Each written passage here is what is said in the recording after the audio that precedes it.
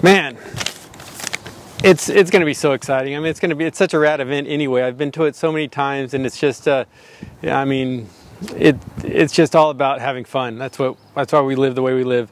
I mean, since I've been to the Worlds in UK, it's been nearly 30 years, and for me, I mean, you know, was, I was a young kid coming, uh, growing up in a very passionate sport. The uh, the community was just really tight, and um, and then just going what I felt like all the way across the uh, other side of the world, and to run into the same passionate people that have that are so rad and just have a definite, totally different definition of style and contributed so much to um, my imagination. My head was just blown. I was I was just so excited to come back and just to learn so much new things and um, and just take what they contributed uh, back to my imagination, see what came of it. And that's what I guess you know that was the start of that's 30 years. So you can you can see it's it's plenty of uh, inspiration.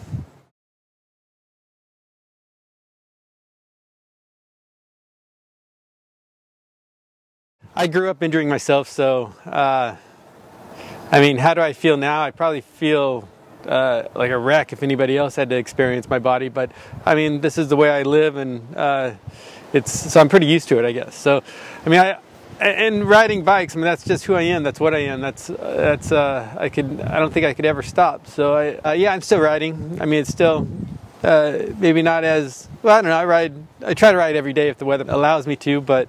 Um, but also my body gets wrecked pretty easy. So, you know, I have a little layoffs here and there, but I, I still ride. I'm basically right here. This is my, my backyard. I've kind of I've kind of come full circle with my riding. It's like uh, this is my zen. This is kind of my meditation spot. This is where I can ride and I have no other distraction but the moment and my bike. And um, that's what it's about for me right now. Is just to um, just to remember what it's really about. It's a it's about my heart and my soul, and and uh, this is just fuel for it right here. So I, this is where I I play nowadays, and um, and I kind of keep try to keep it true to that because, you know, I'm lucky enough to have been all over the world and traveled and done contests and shows, and um, and now I just uh, I just remembering what it's really about. It's about uh, you know inner peace and um, and just challenging yourself. You know, just it's a personal contest between you and. Uh, uh, you and everything.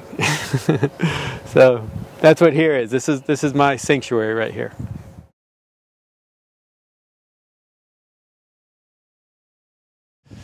Huh, and the one moment that stands out in my career is is really um, it's it's about the UK. I mean, I I did I had in my mind I wanted to do a backflip twist, you know, now known as a flare, and so Mansfield, UK, there's a contest out there, and I was riding it, and um, I had the, the motivation that I really needed to make that happen, and that was I had a, a guy from uh, a kid from Make a Wish come and wanted to see me ride, and I'm like, you know, I really want to give this guy something really special.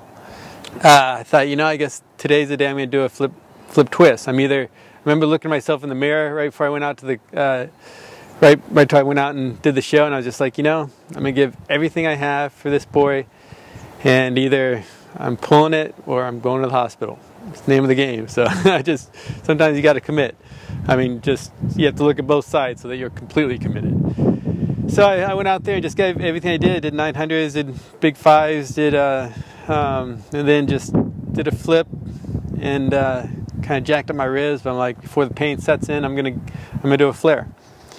So, uh, so I did a flare, um, went off the side of the ramp and just rode right up to him and gave my bike. Said, "This is you.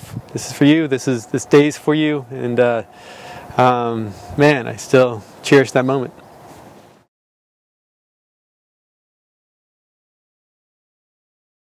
I was in uh, Canada. I was at the 2-Hip contest, and it was the first time I ever did a 900. I had it in my mind many, many times, and I was just like, man, I'm, I'm going to throw it down here. So threw it down and rode out of it. You know, you never know the game if you're going to ride out. And so as, as much as a surprise to me, it probably was to anybody else. But uh, the TV was there, ESPN was there, and uh, they went up to Brian Blyther and they're like, hey, what, what's that guy's name? And Blyther's like, uh, that's the Condor. and uh, so they just called me Condor during the whole TV um, show, and uh, yeah, and he, he called me Condor because he gave me that nickname on the Swatch Impact Tour. Um, and I guess it's just because I, I like to go high and I like to fly. So after that after that ran, after that uh, ESPN show ran of me doing the 900 and everybody calling me Condor, I never li- lived it down. So, but I'm proud of it. I like to fly. Still like to fly.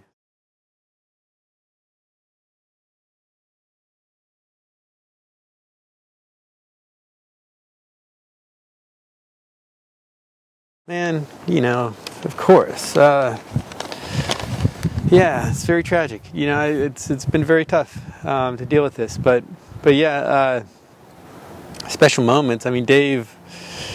Dave was a miracle boy that became the miracle man. I mean, he just uh, he just had a certain finesse to BMX and riding that nobody will ever have.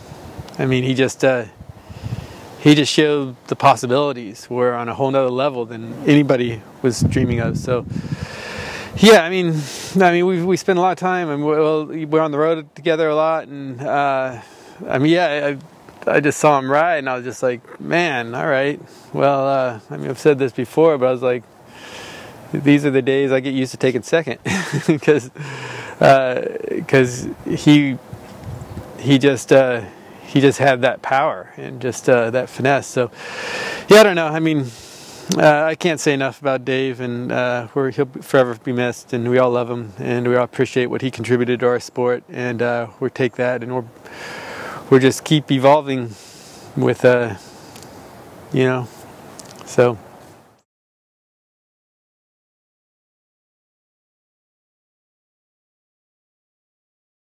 When I first came over to England, I saw um, Craig Campbell doing peg stalls. It was so rad because no one had thought of that. And so uh, when I came back home, I just started kind of doing it on on the ramp and kind of trying to figure it out like like Craig. And then Steve started Steve Swope started grinding them, and um, and it was kind of a uh, a time that uh, skateboard street was really progressing, and so people were doing handrails and just redefining what the playground was around you, and uh, and just turned street into a paradigm shift of reality. And I just uh, uh started seeing handrails, and I think the first couple ones are, I mean, I did they're really steep, and uh, everybody thought, man, why why am I going for such hard ones in the beginning? But at the time, I, I had bad shoulder injuries, and I just couldn't hop up big rails, and so uh, it was really I was going those big rails because I could I could kind of I didn't have to hop so high. So really, to my in my mind, it was a lot easier, and um, and you get done with it a lot quicker. No, it, it, but it, handrails are I, I I define handrails kind of like base jumping. It's like total commitment. It's all or nothing. You either pull it or um, someone's probably waking you up. uh, yeah, so first experience, you know, you just you just roll up to it and you just commit and you go for it. And when you roll away, that's what BMX is. It's making the impossible possible.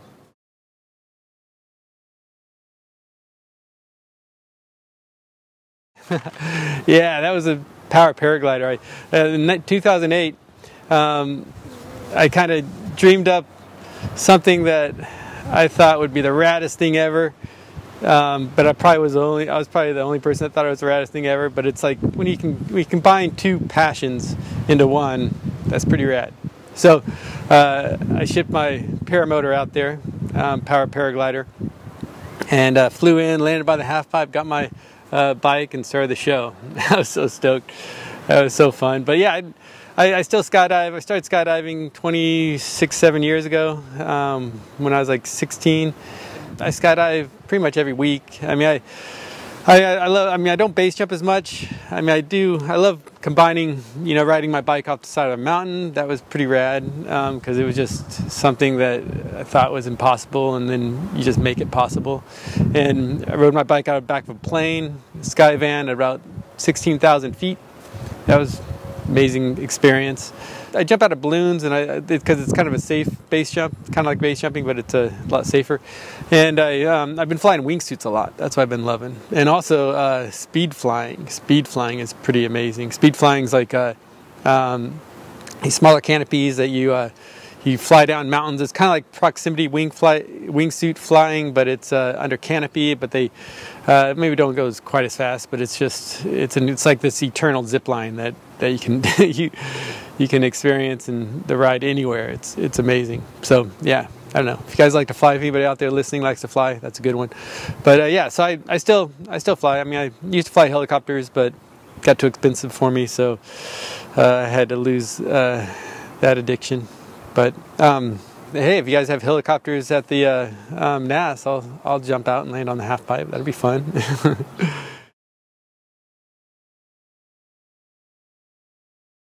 I can't wait. This is gonna be so rad. I mean, it, it I mean, we should use RAD as an acronym. It's going to be Rock and Destroy and Ride and Destroy. Combined, married at NASS. It's going to be awesome. The best of our worlds all, all colliding. It's going to be so fun. So I can't wait. Can't wait to see you guys there. And uh, peace out. See you in July.